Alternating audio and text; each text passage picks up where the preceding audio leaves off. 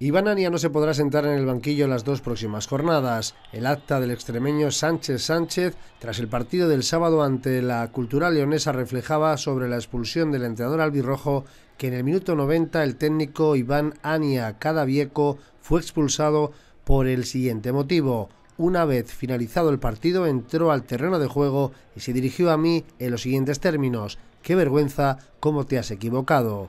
El Comité de Competición de la Real Federación Española de Fútbol lo ha encuadrado en actitudes de menosprecio o desconsideración hacia los árbitros, directivos o autoridades deportivas. Artículo 124, donde Ania Cadavieco Iván, entrenador de Algeciras de Fútbol, queda suspendido por dos partidos.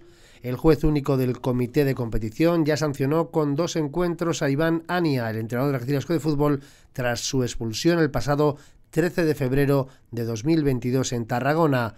Ania, que siempre ha destacado por su respeto por el estamento arbitral, el domingo no ocultó su enfado por el arbitraje de Antonio Sánchez Sánchez, una situación que le hace perderse las dos próximas jornadas.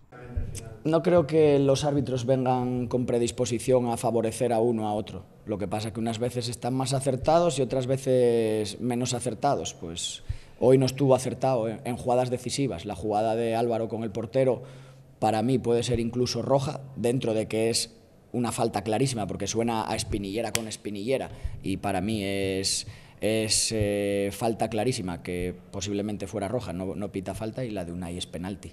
No, no las vi en la tele, eh, pero en el campo la sensación es que es penalti, penalti claro.